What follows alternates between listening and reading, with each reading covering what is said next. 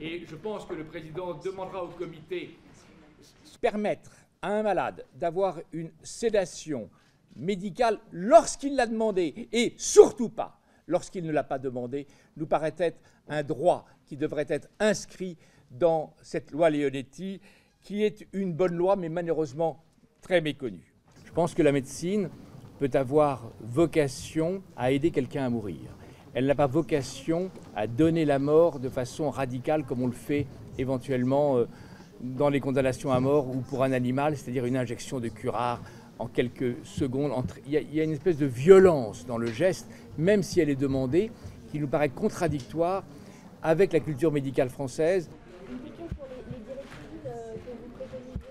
Films que nous avons vus sont des films qui nous glacent un peu des